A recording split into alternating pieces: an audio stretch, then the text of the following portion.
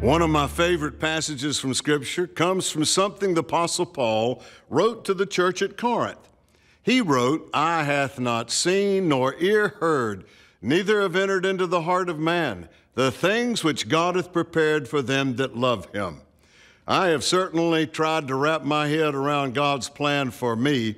I spend time dreaming about the ideas God's placed in my heart, but I can't comprehend it all.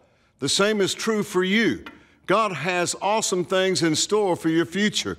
Now, thankfully, you don't have to make it happen. All you have to do is look to Him and trust that He will show you the way. I'll share more in this week's email. Thanks for watching today's Winner's Minute.